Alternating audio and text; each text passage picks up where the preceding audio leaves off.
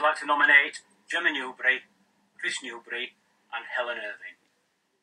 Damn it, Dave. Hey everyone, it's Helen and this is my acrobat challenge.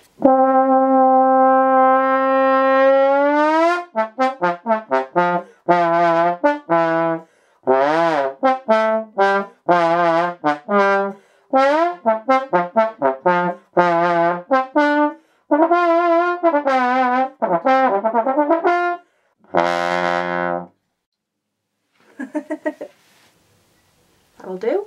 I had to practice the acrobat. I know. I call myself a trombone player. What am I doing? What am I doing? For anyone that hasn't seen the acrobat challenge doing the rounds on Facebook or has no idea what it is, it was put together for a guy called Stephen Sykes, who I believe is a trombone player himself, and he suffers from Hodgkin's lymphoma. So it was put together as a way to raise a bit of awareness and to raise some money to help Stephen get better soon. As for who to tag, Niall Caroon, you're my first tag because you were pestering me to get this done.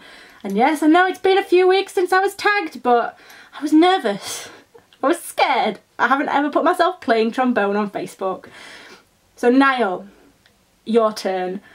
And I'm also going to tag Christian Hines, because I play in a band with him as well. And because Christian taught me when I was little, I'm going to tag David Joyce, because David Joyce taught me when I was younger as well.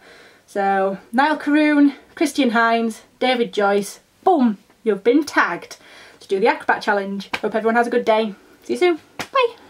I'm a terrible acrobat. Terrible.